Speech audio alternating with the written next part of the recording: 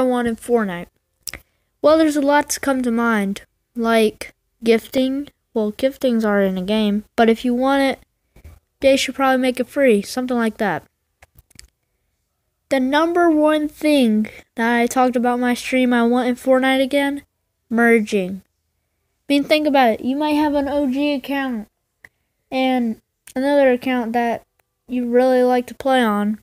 What are you going to do? Merging's not out yet. So, you can't really do that much.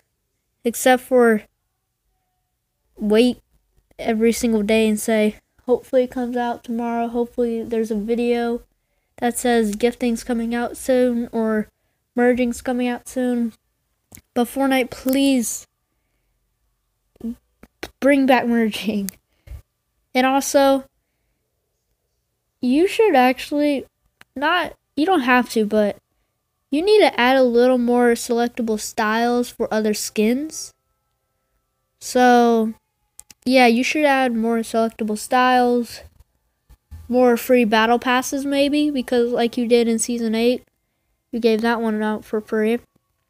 And please, I know everybody in the community of Fortnite wants it, so I don't know how long you're gonna wait, but please bring it back, man. Thank you.